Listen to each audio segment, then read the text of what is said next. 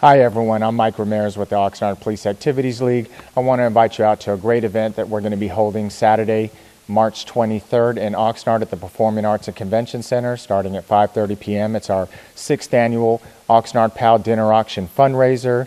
It's fully catered by Cabo Seafood Grill and Cantina.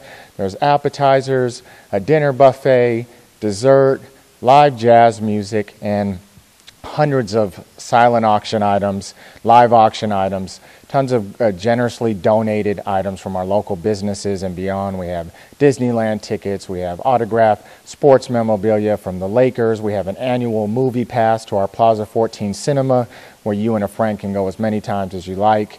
And it's just a great thing. It, all the proceeds go to benefit local youth through PAL's free youth services. And come out and enjoy yourselves. Have a good night.